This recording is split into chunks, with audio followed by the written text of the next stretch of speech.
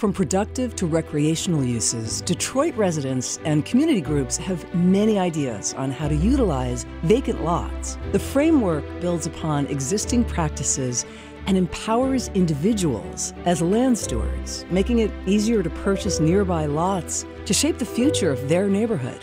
I see a lot of smiles now.